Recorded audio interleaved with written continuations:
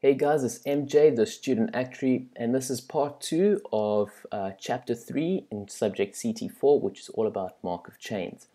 And in this video, I'm going to be looking at what are simple random walks, what is stationary distributions, what is irreducibility, periodicity, long-term behavior, estimating transitional probabilities, and the chi-square test on triples.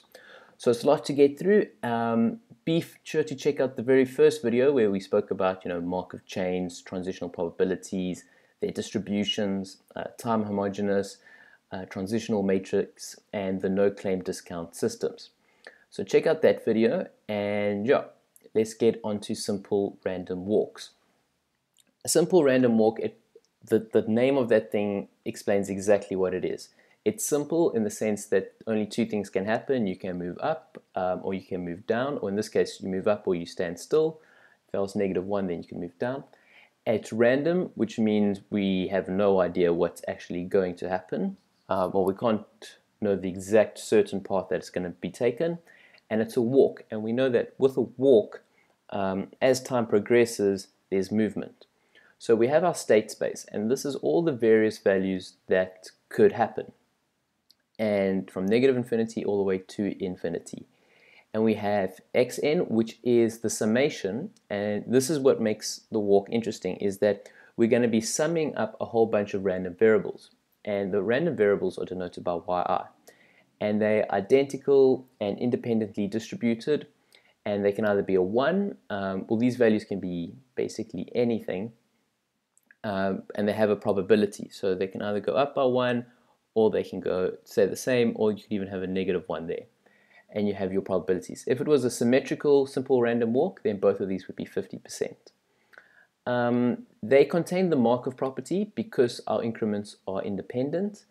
And what's nice is um, it, it basically forms a Markov chain because it has a discrete state space and a time set.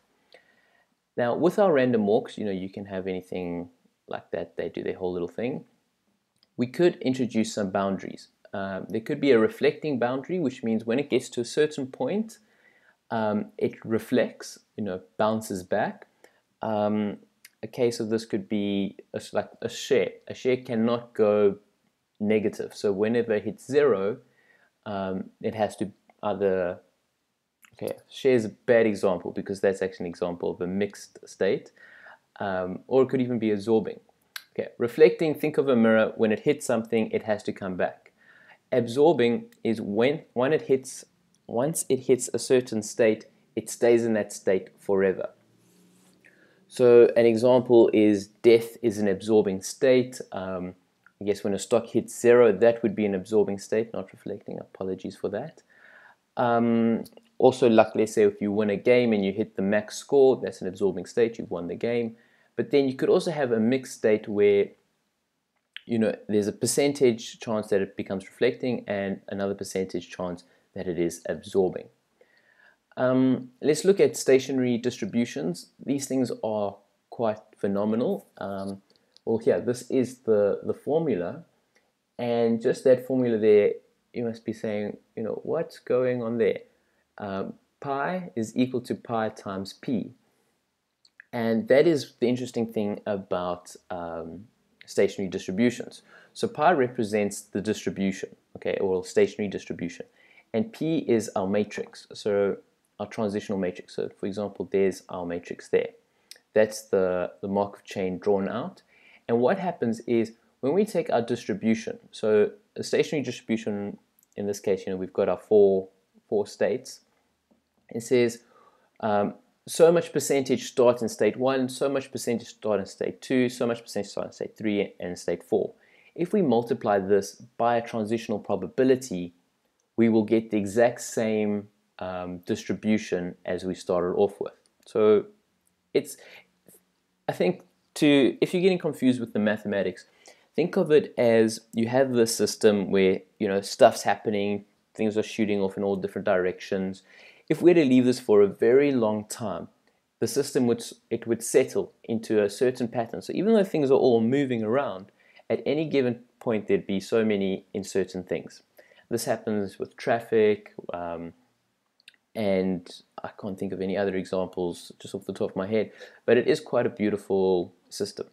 You can see I've got a just a little example of how you know you times it by that and you can work it out. This is where the mathematics gets in. But remember, this video I just want to talk about the topics in a broad, high-level overview, so we're not going to get too much involved with that. Otherwise, these videos will take forever. Um, irreducibility, okay, this is um, a, a uh, not a probability. This is a property that says if any state J can be reached eventually from any other state I. So if I can get from this state to any other state, so if all my states are connected somehow, you can see 1 and 4 are not directly connected, but I can get to 4 by jumping to 2 and then 2 to 4, or jumping from 3, 3 to 4. Then, um, then it's known as irreducibility. If I can't do that, then it's called not irreducible. Okay, and so think about it. If a state is absorbing, you can't really go from that state back to another state, so therefore it will not be reducible. Then you have this thing called periodicity, and this is a little bit tricky. Well, I, I, I struggled a little bit with this one, okay? What it says, it says state i has a period of d which is greater than 1 if a return to state i is only possible in a number of steps that is an integer multiple of d. Yeah, some of you will be like, oh, Mark, that's so simple. Others of you are going to be like, what on earth did you just say there? And the best thing to do is just to have a little bit of an example. So let's look here at this mock, this little yeah, model we have here. Okay, we've got state one and we have state two. Okay, which one is uh, period? Which one has a period, or what are the periods? Okay, well, state one can go to state two and then come back to itself, or it can just be in itself, okay, which means it has a period of 1 because it, it returns to state 1 is only possible in a number of steps that is an integer multiple of 1. Whereas 2 would have a period of 2 because you can go 1, 2. So you can only get back to it after a multiples of 2. Um, so yeah, state 1 is aperiodic because one is, and remember, our definition says that D has to be greater than 1. So therefore it's aperiodic, because it's only possible to stay in 1 after two consecutive time periods. Um, and then the interesting thing is the chain is irreducible, so every state has the same period. Therefore, state 2 is aperiodic, which is interesting. And you can see why I'm getting a little bit confused, because it doesn't have, we thought it had a state, a period of 2.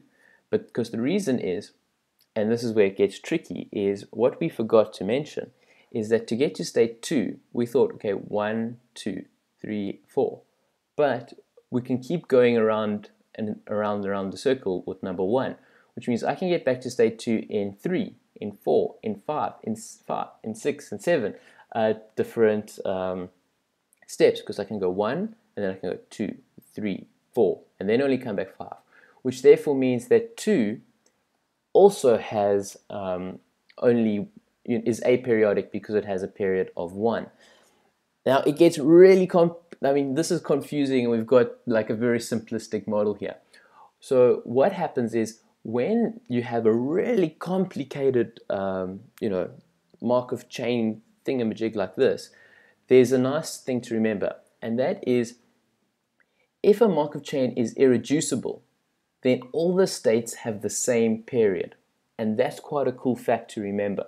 So you only have to figure this out for one of them and know if it's irreducible, they will all have the same period. Okay. Now, why do we care about this? Because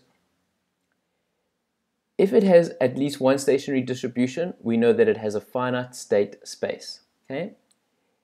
If it has a finite, oh, if it has a unique stationary distribution, it has a finite. Sorry, I'm getting this all confused here. Let's let's just take a quick little look and get back to it. Okay. If our Markov chain has a finite state space, okay, then it will have at least one stationary distribution. If it has a finite state space and is irreducible, then we know that it has a unique stationary distribution. However, if it has a finite state space, it is irreducible and is aperiodic, then we will know that it will converge to the unique stationary distribution. Now do do lots and lots of practice, do lots of exercise on this stuff, and you'll see what I'm talking about. Um, sure, these, like I said, these things are amazing how whole stationary distributions work together. And that's where we get to basically, we're coming up to the end of the video, like the long-term behavior. So we can see this very simple model, it has a finite state space, you know, it has one and it has two. Something that doesn't have a finite state space would be that random walk that can go on forever, you know, negative infinity all the way to infinity. We showed that it's irreducible because each state can get to each every other state, and we showed that it's aperiodic because the period is 1, you know, or you can only get to state 2 if the highest multiple of 1. So even though you can't get to state 2 in one step from 2, it's 2, 3, 4, 5, and their thing that they have in common is 1. Then you can, uh, so we know it's going to converge to a unique stationary distribution in the long term, which means we don't even have to just say what that stationary distribution is to start off with. We can use this and we use simultaneous equations or whatever you want to use, you can work out the answer. So what this means is when this system here settles, okay, two thirds of it are going to be here and one third is going to be here. So think of, I mean, I think, I guess an easier way to think of this is think of these as, um, you know, baskets or balls um, or bowls. There's bowls and there's all these little beads that are dancing between um, the two different bowls. And these numbers here say that if I'm in bowl one, I have a 50% chance that I stay in this bowl, and I have a 50% chance to go to bowl number two. If I'm in bowl number two, I've got a 100% guarantee that I come back to bowl number one. You put in millions of beads into the system, and what you'll get is after a lot, after some time, you will have 66% um, of the beads will be in state one, and 33% um, of them would be in state two. And this makes sense because when whenever something's in state two, it shoots straight back to state one. When it's in state 1, some of it shoots back to state 2, some of it stays over here. Uh, so you could have figured that out just by looking at it, but when these things become, say, complicated, like, you know, four states, that's when the mathematics helps. Um, estimating transitional probabilities, it is quite straightforward. Uh, Nij is the number of times that the sequence ij is observed in the given data set, and then so it's basically you count how many times these transactions happened by the sum of the transitions to something else, and that's very intuitive. Something that's a little bit less intuitive is this whole chi-square test thing. Um, I have not seen this in the exam, so don't go too crazy about it. It is quite a, I mean, it's got a triple sum in it. Very interesting formula. Um, the mathematics, I mean, when you actually draw it out and you do an example, it again, it is very intuitive and it makes a lot of sense but you will be coming across quite a lot of tests in the later chapters of this course. So it's worth, you know, getting your head around it now, but it's nothing too difficult.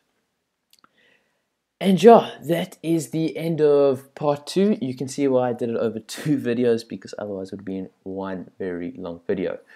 Um, I did mumble a bit in this video, so if you have any questions, please let me know in the comment section and I shall address them.